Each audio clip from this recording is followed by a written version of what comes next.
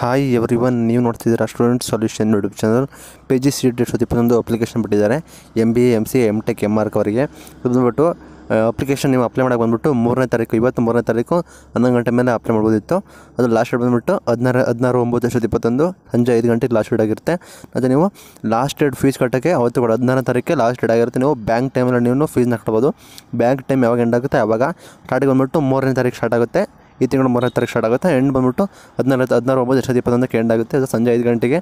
ಮತ್ತು bank time ಅಷ್ಟೇ ನೀವು ಫೀಸ್ನ ಎಷ್ಟು ಫೀಸ್ ಸ್ಪೆಸಿಫಿಕ್ ಮಾಡ್ತಾರೆ ಫೀಸ್ನ ಕಟ್ಟಬೇಕಾಗುತ್ತೆ ನೀವು ಫೀಸ್ನ ಸ್ಪೆಸಿಫಿಕೇಷನ್ ಮಾಡಿ ಮಾಡಿಬಿಡ್ತಾರೆ. ನಂತರ ಬಂದ್ಬಿಟ್ಟು ಯಾರ್ಯಾರು ಎಲಿಜಿಬಲ್ ಇರ್ತಾರೆ, ಅವ್ರು ಹೋಗಿ ಅಪ್ಲೈ ಮಾಡ್ಬೋದು. ನೀವು ಕೆ ಇ ವೆಬ್ಸೈಟಿಗೆ ಸಾಲ್ವ್ ಮಾಡೋದ್ರಲ್ಲಿ ಆಪ್ಷನ್ ಬರುತ್ತೆ. ಅಲ್ಲೇ ನೀವು ಅರ್ಜಿನ ಅಪ್ಲಿಕೇಶನ್ ಹಾಕ್ಬೋದು. ನೀವು ಹೊಸ ಅಪ್ಲಿಕೇಶನ್ ಹೊಸ ಅಪ್ಲಿಕೇಶನು ಮತ್ತು ಹಳೊಬ್ಬರೇ ಮತ್ತೆ ಬರ್ತಿದ್ದಾರೆ ಅಲ್ಲೇ ಲಾಗಿನ್ ಆಗಿ ನೀವು ಅಪ್ಲೈ ಮಾಡ್ಬೋದು. ಈಸಿ ಸ್ಟೆಪ್ಸು ಫೀಸು ಕೂಡ ಆನ್ಲೈನ್ ಪೇಮೆಂಟ್ ಮಾಡ್ಬೋದು. ಅಥವಾ ಮಾಡೋರು ಬ್ಯಾಂಕಲ್ಲಿ ಕೂಡ ಮಾಡ್ಬೋದು.